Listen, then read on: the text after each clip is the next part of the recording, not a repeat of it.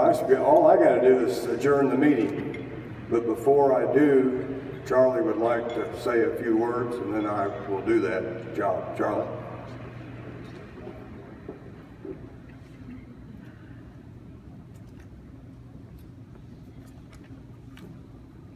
Well, this may be when I need the crying towel. You know, I, when I decided to run for president, I a lot of my friends say, uh, Charlie, what are you doing? You going crazy? You know, FMCA, at that time, we were losing a lot of money. Times were hard. We were all kind of down. Our chin was hanging down. Uh, our membership was, we were losing five, six hundred members a month, uh, five thousand a year.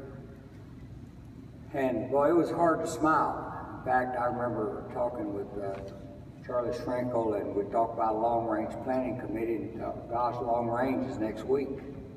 And uh, it was tough times and I felt like we needed a cheerleader. We felt we needed a cheerleader far more than we needed anything else. We have smart people on our board, we have smart people on that staff. So I didn't feel like we had to have a guy that's really smart, because I'm not. What I felt like we really needed was someone that emulated Sam Walton as he did with Walmart. And Sam was not a real, real numbers guy. Uh, he couldn't figure out how to do all this barcode stuff, but he was a cheerleader. He'd go into his stores and gather his associates around, lead them in cheers, and then he'd get in his pickup truck and drive off. And I felt like that FMCA needed a cheerleader, and I ran, and I, I really ran to be a cheerleader of FMCA. I hope I've done that. I've tried my best.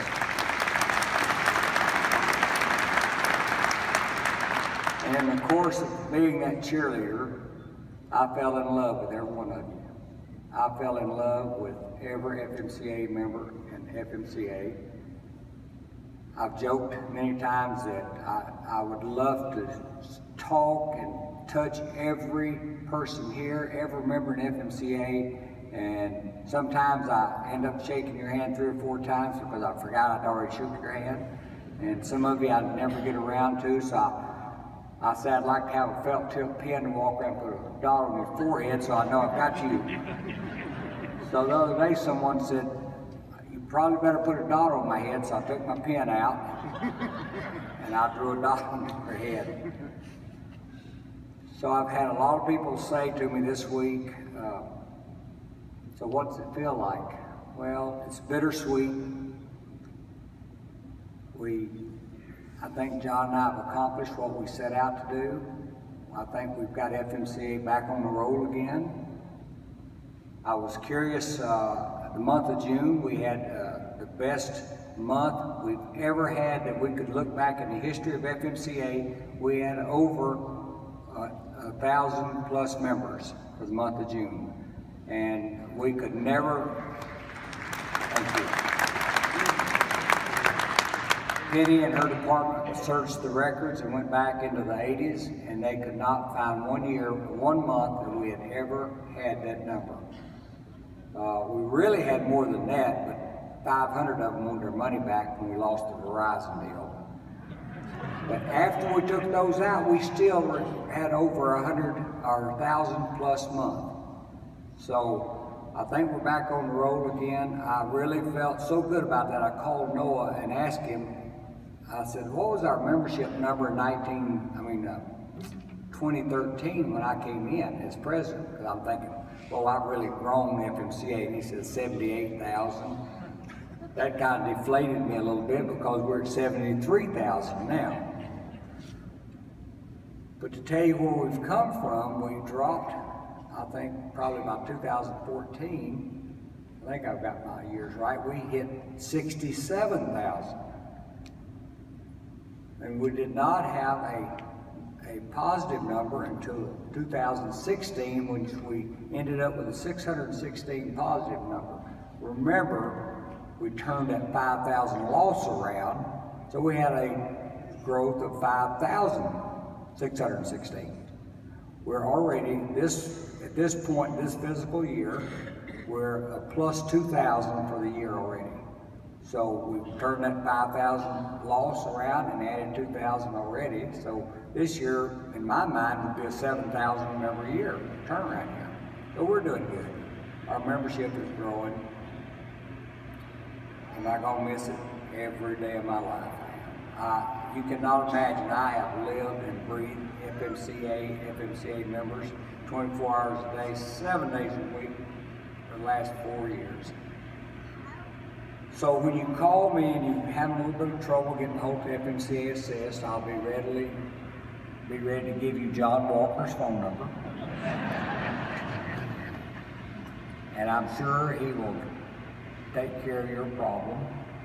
Jon is a little more electronically inclined than I am, so you always knew if you sent me an email, you had to put your phone number down so I could call you. And I always did, because I don't type. So, but I do call. They found out real quick they better get lots of minutes from me when I got in office. And I've had the humorous times have been when uh, someone would send me an email and I'm sitting there watching TV, playing Spider Solitaire, and I show that I had an email, and I'd look and I'd read it, and they'd have their phone number on there. I'd call them right back, and they'd say, I just hit send, and you're already calling? and they were surprised that the president would call them, number one. They were really surprised that I called them within a minute after they sent me the email. And uh, Jon will probably respond back with an email and answer you because he can type. I couldn't type. I could. I always told everyone I can read real well. You can send me emails. I can read them. They did teach me how to read, but they never did teach me how to type. It's been a wonderful four years, and uh, I'll try to save my tears till later. I've never, never liked someone standing up here and saying, "Gosh, it's finally over. I'm through. I didn't think this day would ever get here." Well, I knew this day would get here. I knew this yesterday when I came into office, and it seems like it was just yesterday that Jon and I started this journey, and it's over. Uh, the part of the president, and I'm I'm sad to go out of office. I'm excited for Jon and this new board. They're going to do great things. Uh, they've got they've got the whole world in front of them to work on for you, the membership. And remember, they work for you. You don't work for them. So you really outrank every one of them and me. Keep that in mind.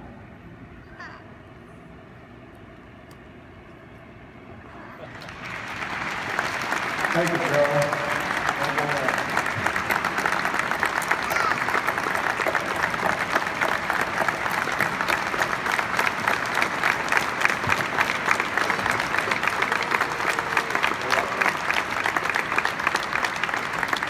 So, with no further business, I will adjourn the business part of this meeting.